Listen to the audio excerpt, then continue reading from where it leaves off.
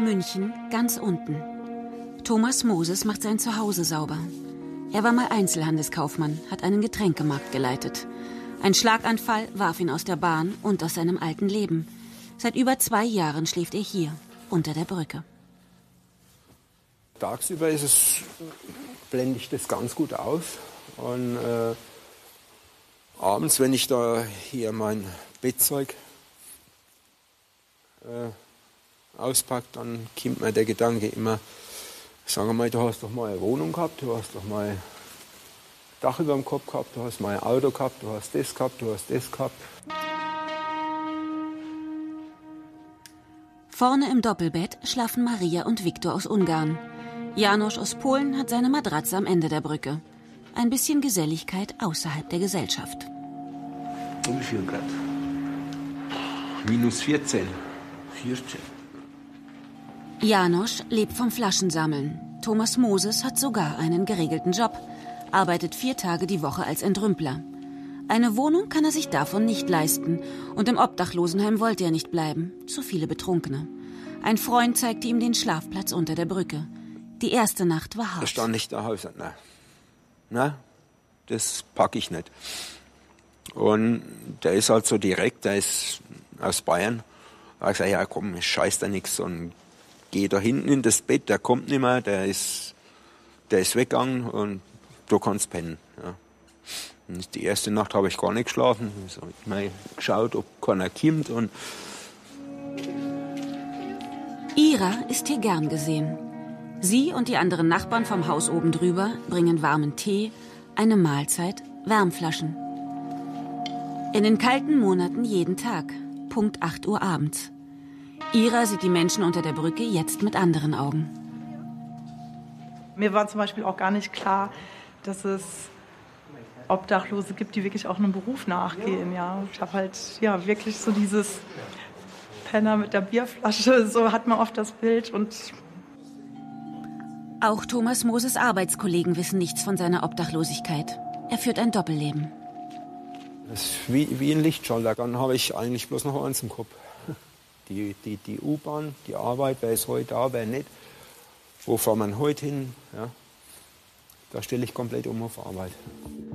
Trotz Arbeit keine Wohnung. Dabei hat Thomas Moses Anspruch auf staatliche Hilfe. Maximal 642 Euro brutto Kaltmiete würde das Sozialamt übernehmen. Doch 30 Quadratmeter kosten in München auf dem freien Wohnungsmarkt bis zu 1000 Euro. Zu viel für Menschen wie Thomas Moses. Wenn er frei hat, fährt er Bahn. Thomas Moses hat eine Monatskarte und in der Bahn ist es zumindest warm. Er gibt sich Mühe, nicht aufzufallen.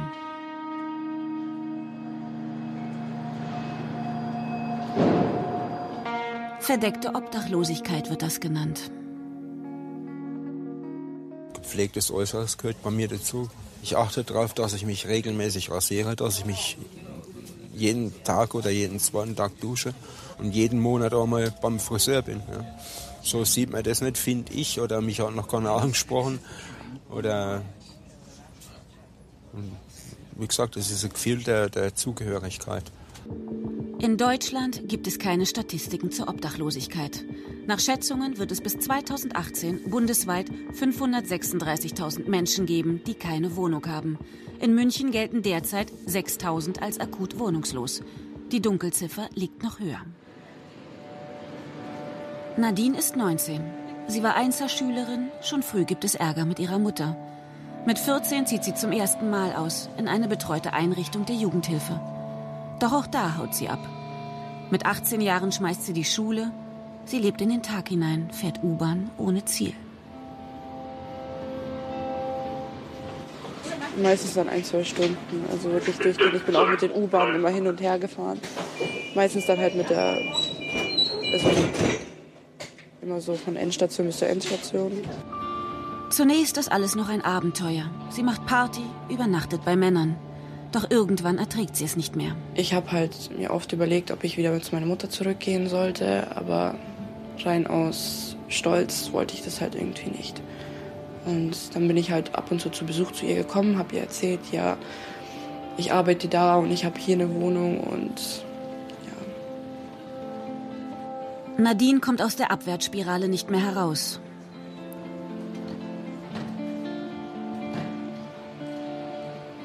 Schließlich übernachtet sie auch auf U-Bahn-Toiletten. Das war echt ekelhaft. Es war wirklich, also dass man schon so sinken muss, das, das macht mich schon echt traurig, aber. Erst als sie schwanger wird, sucht sie Hilfe und kommt in der Erstanlaufstelle für obdachlose Frauen des evangelischen Hilfswerk unter.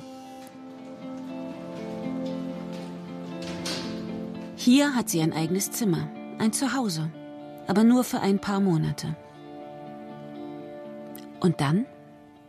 Ich weiß nicht, irgendwie jemandem erzählen zu müssen, dass man auf der Straße schlafen muss, ist. Du fühlst dich halt dann einfach irgendwie. Du hast halt Angst, dass sie sich vor dir ekeln oder irgendwie sich keinen Kontakt mehr zu dir wollen. Frauen machen mittlerweile ungefähr ein Drittel aller Wohnungslosen aus. Leiterin Isabel Schmiedhuber beobachtet einen rasanten Anstieg, gerade bei berufstätigen, Alleinerziehenden und jungen Frauen wie Nadine. Wir platzen aus allen Nähten. Wir könnten Zimmer zwei- und dreifach vergeben. Wir müssen ganz viele Frauen abweisen. Frauen von außerhalb, die bei uns anrufen oder uns eine E-Mail schicken, müssen wir mittlerweile sagen, bleiben Sie, wo Sie sind, kommen Sie nicht nach München weil hier werden sie verelenden. Nadines großer Wunsch, eine Sozialwohnung für sich, das Kind und ihren Freund. Doch das wird dauern. Obwohl sie schwanger ist, gibt es keinen Platz für sie. Denn Wohnungslose konkurrieren mit Studenten und Geringverdienern um die wenigen Sozialwohnungen. 3200 können jährlich von der Stadt München vergeben werden. Demgegenüber stehen 24.000 Antragstellungen.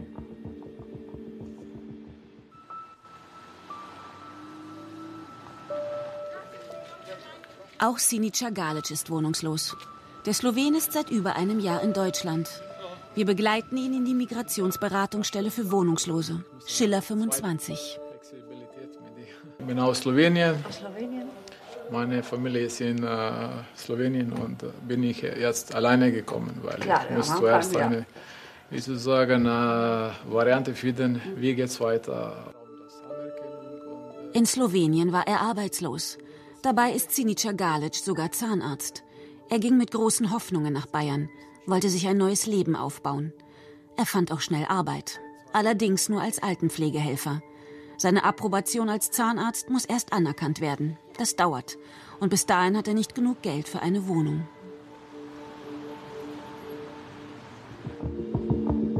Seit der Arbeitnehmerfreizügigkeit in der EU hat sich die Situation auf dem Wohnungsmarkt verschärft.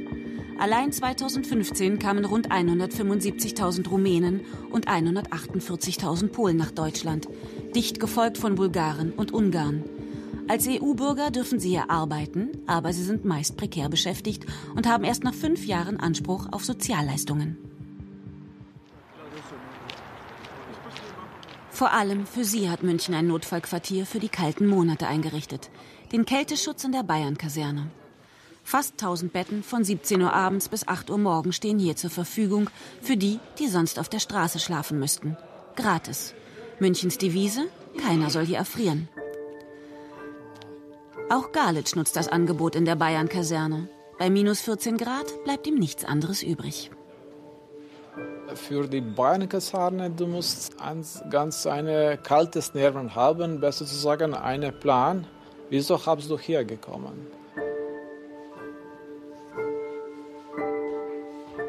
gekommen? mache diese für meine Familie und das ist äh, im Endeffekt die wichtigste Sache. Auch rund 10 Prozent Deutsche nutzen das Notfallquartier für die Nacht. Wie Greta. 30 Jahre wohnte sie in einem Einfamilienhaus in München. Dann wird sie rausgeklagt. Seit einem Jahr ist die 62-jährige Krankenschwester wohnungslos. Im Sommer schlief sie draußen. Ich habe vieles, aber nur kann ich mir keine Wohnung leisten im Moment in der Situation. Das macht wütend, oder? Nö. Erfahrungsreich. Ich bin zwar alt, aber ich habe dieses Jahr, dass ich jetzt auf der Straße bin, sehr viel gelernt und habe noch meinen Beruf, Gott sei Dank.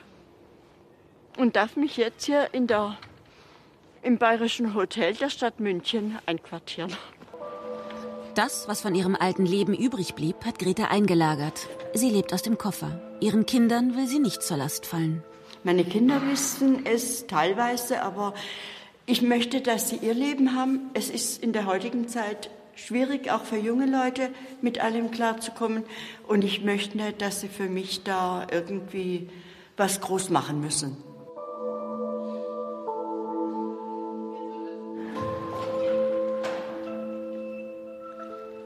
Anton Auer kennt solche Schicksale nur zu gut. Die Anzahl der äh, obdachlosen Menschen in München steigt von Monat zu Monat. Pro Jahr haben wir einen Nettozuzug in München von ca. 25.000 Personen. Äh, und die Stadt ist gar nicht in der Lage, dieses Problem äh, mittelfristig zu lösen. Wir versuchen das langfristig zu lösen über Wohnungsbau, sozial geförderten Wohnungsbau auch in München. Aber es ist bisher noch kein Ende in Sicht. Zumal der Freistaat Bayern noch 2013 33.000 Sozialwohnungen verkaufte. 8.000 davon in München. Nun versucht die Stadt den Fehler zu revidieren. Für 1,2 Milliarden Euro kaufte München knapp 1200 Wohnungen zurück und will 3000 neue bauen. Das ist weniger, als sie einmal hatte. Was passiert denn mit denen, die jetzt nicht die Wohnungen bekommen? Diese Menschen bleiben natürlich erstmal in der Wohnungssituation, in der sie im Moment sind. Die stehen auch nicht alle auf der Straße, sondern haben zum Teil eben einfach suboptimale Wohnverhältnisse. Aber es wäre letztendlich ein Versprechen, das nicht haltbar wäre, wenn ich Ihnen heute hier sagen würde, die werden wir tatsächlich alle unterbringen können.